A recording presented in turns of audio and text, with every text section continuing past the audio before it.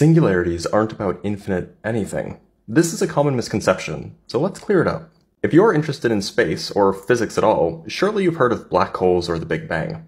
And if you've watched Neil deGrasse Tyson or others, you would have perhaps reasonably believed that when a physicist says there's a singularity in spacetime, they mean something like the matter density is infinite there, or perhaps more sophisticatedly, that a scalar curvature invariant diverges there. And while this understanding of a singularity hits a lot of prominent examples, it misses others and gets non-singular spacetimes wrong. What a singularity really is, is somewhere, or somewhen, that is a dead end for at least one path through spacetime that runs into it. The technical phrase is geodesically incomplete. Essentially, if you were traveling along one of these paths, you get stuck in space and time when you get there. In other words, you cease to exist. You have no future, nowhere to go.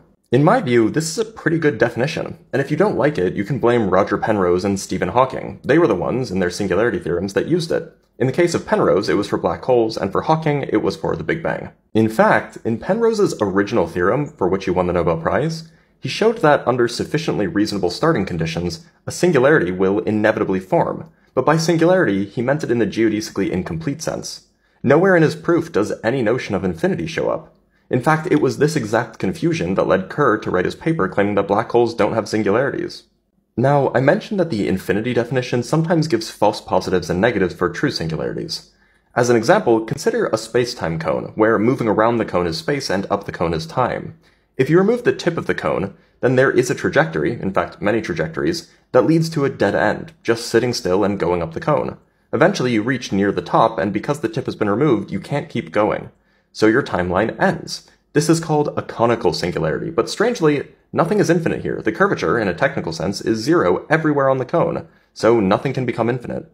Alternatively, a thin spherical shell with infinite density but finite mass would have an infinite value for various curvature invariants. But because the mass is finite, nothing actually goes wrong for any trajectories. They can all pass through the shell no problem, no dead ends. That said, most of the singularities you might imagine have both. The center of a non-rotating black hole has infinite curvature and it's a dead end. The same is true for the Big Bang. So you weren't very wrong, just caught on a technicality.